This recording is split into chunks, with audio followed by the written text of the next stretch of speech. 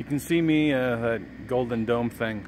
That's where they have uh, hot springs that humans can go and soak in. Uh, there's one that's free to the public. Hot springs that smell like sulfur, like these ones all around do. Uh, they were made when God ate asparagus and took a pee. And this is completely true and verified.